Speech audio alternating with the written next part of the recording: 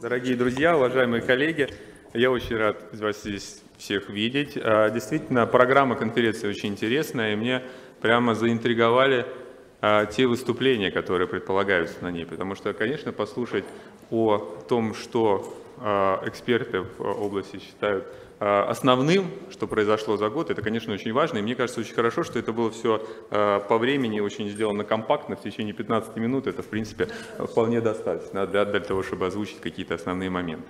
А, организаторы попросили провести э, до моего выступления и после выступления своеобразное голосование.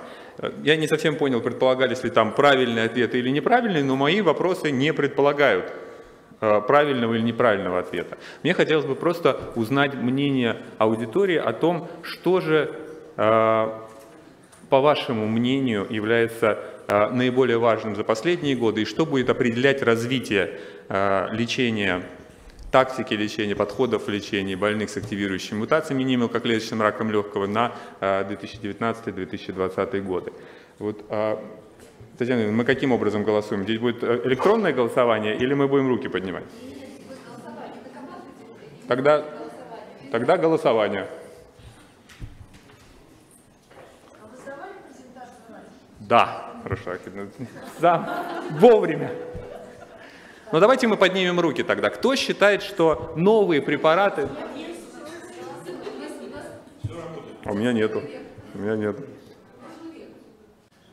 Так, значит, то есть предполагается, что э, дополнительные новые препараты к уже известным мишеням и выявление новых мишеней приблизительно одинаково, по мнению аудитории, будет влиять на э, развитие и э, развитие в лечении пациентов с наличием э, активирующих мутаций.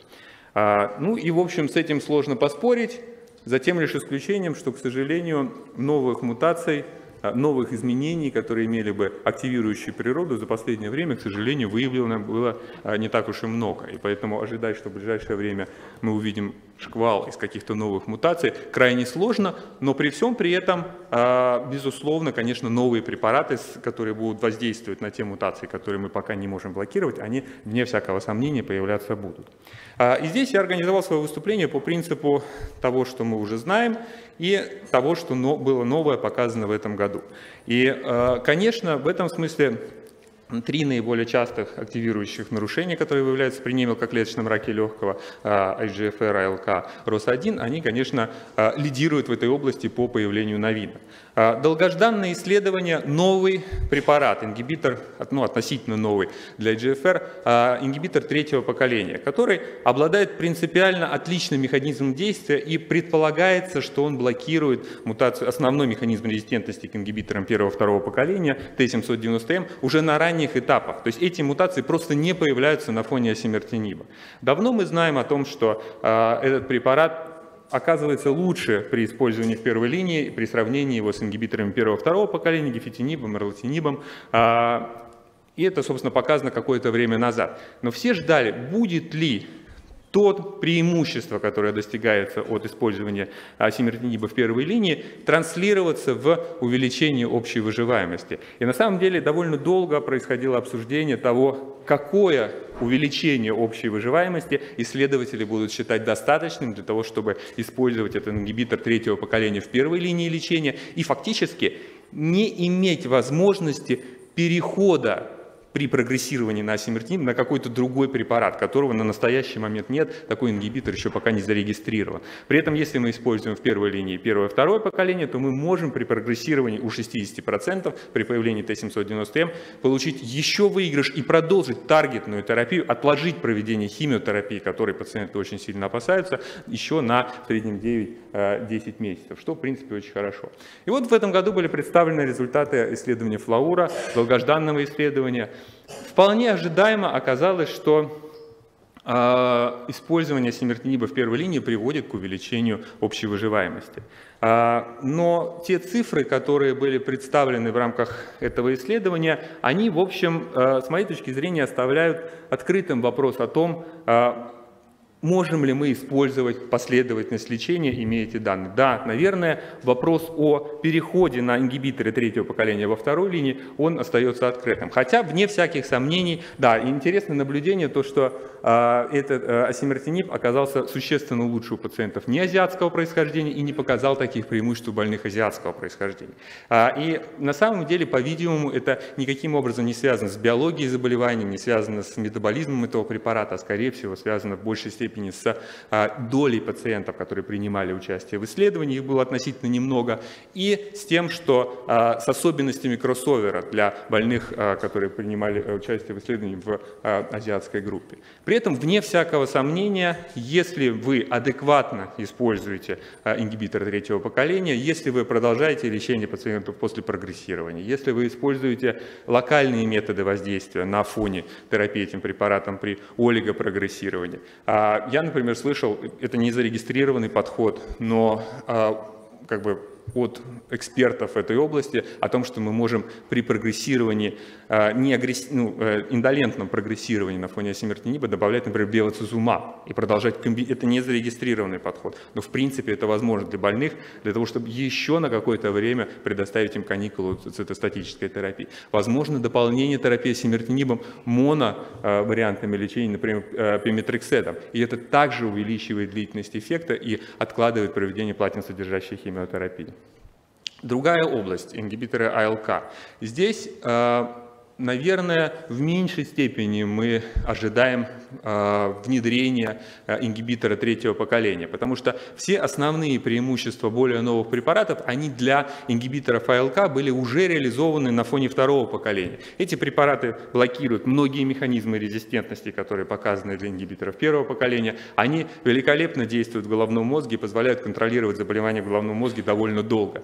А, и то, что мы наблюдаем в рамках а, в рамках э, у больных с транслокацией АМЛК, это расширение арсенала препаратов, и что, безусловно, является важным для, э, для э, врачей, для онкологов, потому что, во-первых, позволяет манипулировать нежелательными явлениями, во-вторых, у нас есть возможность перехода с одного ингибитора на другой у больных, у которых по каким-то причинам а, наблюдается непереносимость. А мы, например, а, неожиданно столкнулись с непереносимостью алектиниба. Через 7 дней великолепный эффект, уменьшение в два раза опухоли, а при этом у больного температура, повышение трансаминаз четвертой степени, кожная токсичность. Мы всяческим образом это лечили, но, к сожалению, это не получилось. Но совершенно новая подход для больных с транслокациями РОС-1. Это очень редкие опухоли. Проведение там рандомизированных исследований крайне затруднено просто из-за количества пациентов. И долгое время для этой небольшой группы опухолей единственной возможностью оставался кризотинип, который, собственно, до настоящего времени является стандартом терапии первой линии для этих пациентов. И сюда входят новые препараты, а, например, лорлосинип, ингибитор третьего поколения. А, определенное время назад было показано, что он работает для больных с а, транслокацией мутациями РОС1, выходят новые и новые данные с большим количеством пациентов, которые говорят о том, что, возможно, этот препарат будет работать лучше, чем а, кризотиниб. Но уже сейчас мы знаем и можем использовать ингибиторы второго-третьего поколения, ингибиторы АЛК для больных с транслокациями РОС1 при прогрессировании на то есть в отношении а, наиболее частых активирующих мутаций совершенно разные происходят изменения. Для EGFR появился новый ингибитор третьего поколения, менее токсичный, более эффективный, а, но те результаты увеличения общей выживаемости, которые мы наблюдаем при его сравнении с первым поколением, они позволяют сохранить возможность использования последовательного использования этого, этих препаратов. Для э, транслокации АЛК расширяется арсенал уже известных препаратов, и маловероятно, что какой-то из них будет прорывным, будет иметь выраженное отличие в эффективности относительно текущих препаратов. То есть мы будем, иметь возможность выбирать между несколькими препаратами, ориентируясь на их профиль токсичности и индивидуальную непереносимость.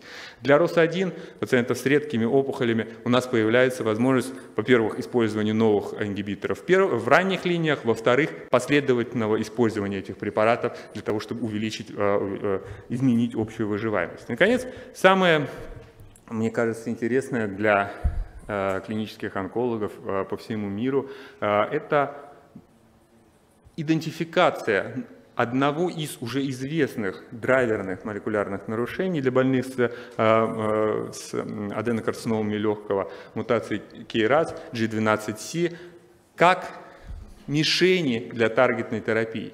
Это принципиальный и новый подход, потому что до этого, э, несмотря на многочисленные попытки и большие усилия многих групп, не было возможности блокировать KRAS и добиваться таким образом эффекта. Конкретно для Э, мутации G12C был синтезирован ингибитор, который снаружи блокирует АТФ-связывающий карман, и это позволяет предотвратить э, связывание KRAS с э, гуанозин-3-фосфатом вместо гуанозин-дифосфата и, соответственно, предотвратить активацию нижележащих сигнальных каскадов.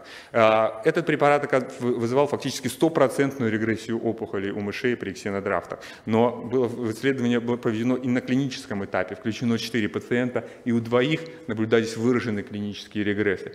Вот это действительно новый подход а, и новая возможность для больных с а, мутациями а, и в частности G12C. Насколько быстро удастся, удастся включить этот препарат, ну, во-первых, подтвердит ли он свою эффективность при широком исследовании, это вопрос. Во-вторых, насколько быстро удастся включить его в клиническую практику, это тоже вопрос. Но тем не менее, заинтересованность специалистов по всему миру, она, конечно, очень, очень выражена. У меня осталось буквально 4 минуты, и поэтому за это время мне хотелось поделиться поделиться с вами своими ощущениями в отношении той ситуации, с которой мы столкнулись. Количество мутаций, с одной стороны, более или менее постоянное, но их на самом деле сейчас довольно много для того, чтобы а, использовать, э, исследовать их всех разом с помощью мультиплексных методов. А, часть практически всегда для того, чтобы э, определить все активирующие мутации, известные в настоящий момент, нам требуется проведение того или иного ограниченного, возможно, но секвенирования следующего поколения. А это, к сожалению, для России сейчас довольно дорогостоящий метод, ну уж не говоря о том, что он довольно трудоемкий. А, и мы работая совместно а, с Евгением Наумовичем Именитовым, активно с ним взаимодействуя, мы, конечно, постоянно задаемся этим вопросом, насколько мы готовы, насколько мы нуждаемся в том, чтобы у всех пациентов определять все активирующие мутации и таким образом находить отдельных больных, которые будут получать выгоду от нашего лечения. А, это данные больших, крупных исследований третьей фазы, в которых все больные, приходящие в клинику, проходили секвенирование следующего поколения, у них определялись молекулярные нарушения, и часть больных а, получали таргетную терапию. Посмотрите, сожалению, доля больных, которые получали выгоду от этого секвенирования, да, от тех, там, условно, 5-6 тысяч долларов, которые тратились на этот анализ, она, к сожалению, не столь велика, насколько мы могли бы этого ожидать. И, собственно, мы наблюдали то же самое. У нас была возможность скринировать пациентов в исследовании BIFAST. Это одно из исследований иммунотерапевтического препарата, в рамках которого в качестве предиктивного маркера использовалась э, мутационная нагрузка, определяемая по циркулирующей опухолевой ДНК. То есть туда включались все больные, которые с, с э, неоперабельным немелкоклеточным раком легкого, даже третья Б-стадия подходила. После этого у них забиралась кровь, которая отправлялась для исследования э, методом Foundation One э, в Соединенных Штатах с, э, на, на основании исследования циркулирующей опухолевой ДНК. И посмотрите, что мы получили. Ну, во-первых, к сожалению, мы определили высокую мутационную нагрузку, больше 25 э, мутаций на мегабазу, только у 5 из 56 пациентов. То есть их, к сожалению, оказалось значительно меньше, чем мы ожидали. Но интересно другое. Посмотрите, большинство больных из тех, которые... мы идентифицировали большое количество разных молекулярных нарушений. Там было фактически у всех пациентов были какие-то мутации, только у одного больного а, не удалось выполнить этот анализ по-видимому, у него ДНК находилась, э, была выявлена неподобающего качества. Но что интересно, посмотрите, реально таргетную терапию из всех больных, скринированных в это исследование, получили а, абсолютно незначительное количество пациентов.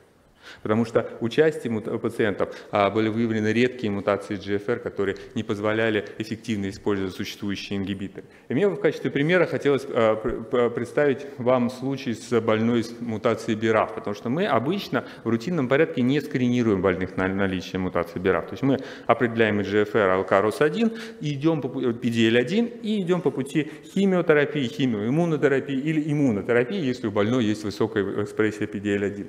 А мутации БИРАФ мы обычно оставляем на второй заход, когда мы чувствуем, что эффект химиотерапии, химиоиммунотерапии недостаточный, и нам, по-видимому, придется переходить на другой вариант. А, ну, и это, в общем, обосновано с точки зрения рекомендаций. У этой больной в рамках скрининга по циркулирующей опухолевой ДНК была определена мутация В600Е. Она относится к относительно новым, потому что не так много у нас сейчас возможностей блокировать, не так много данных, как мы можем эффективно блокировать эту мутацию, в отличие, например, от меланомы, где таких больных значительно больше. А тем не менее, мы уже знаем, и этот вариант зарегистрирован, что мы можем использовать комбинацию из ингибитора BRAF и МЕД для, МЕД для э, блокирования этих, э, э, опухолевых клеток с, этих, с этими мутациями. Ну, мы начали использовать доброфенип тормитинибом и добились определенного эффекта, опухоль уменьшилась, самочувствие улучшилось. Но, к сожалению, к сожалению, э, эффект от использования этой комбинации довольно дорогостоящий. Он не оказался настолько длительным, насколько мы ожидали. Через 6 месяцев у больной уже было прогрессирование. Впоследствии мы выявили еще двоих пациентов с такими же молекулярными нарушениями. Они... Да, я заканчиваю, таким последний слайд. А, мы э, начали э, использование этого комбинированного подхода, и точно так же через у одного 4 месяца, у второго 6,5 месяцев они прогрессировали, мы перешли на химиотерапию. К сожалению, а, это еще один довод в пользу того, что появление новых, а, большого количества новых мутаций, новых молекулярных нарушений а, далеко не всегда, к сожалению, приводит к реальной выгоде для пациентов, которая э, и продлению их жизни, что, наверное, является для них основным. И поэтому мне в заключение хотелось вернуть вас к вопросу о том, э, что же все-таки будет главное в следующем году. Появление новых ингибиторов, новых препаратов, как, например, э, AMG 510 для мутации КИРАС, э, появление новых молекулярных нарушений, как, например, транслокация НТРК, для которых сейчас исследуются только новые препараты, э, или, например, появление новых препаратов для блокирования других мутаций KRAS. Или накопление опыта о том, как нам правильно, последовательно использовать эти препараты и, соответственно, появление для нас возможности их использования. Спасибо. Ну, мне кажется, это риторический вопрос. У нас есть три с половиной минуты, пожалуйста, вопрос. Вот все теперь за последовательность, правильно? Ну, в принципе, наверное, то и другое нужно, я так думаю, да? 50 на 50, как вначале ответили. В принципе, сейчас выровняется.